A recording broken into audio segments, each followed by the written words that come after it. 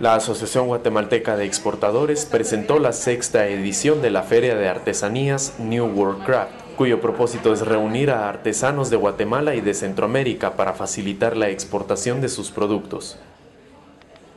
El evento se celebrará el 24 y 25 de septiembre en el Hotel Casa Santo Domingo, en la antigua Guatemala. De acuerdo con los organizadores, esta pretende impulsar las ventas sobre todo a países de Europa y Norteamérica.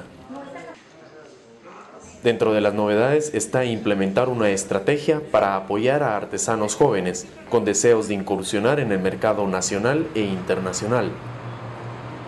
La feria tiene como meta generar hasta 800 mil dólares en ventas y con ello lograr un crecimiento del 5% en exportaciones del rubro, explicó Hugo Cabrera, presidente de la Comisión de Artesanías de Agexport.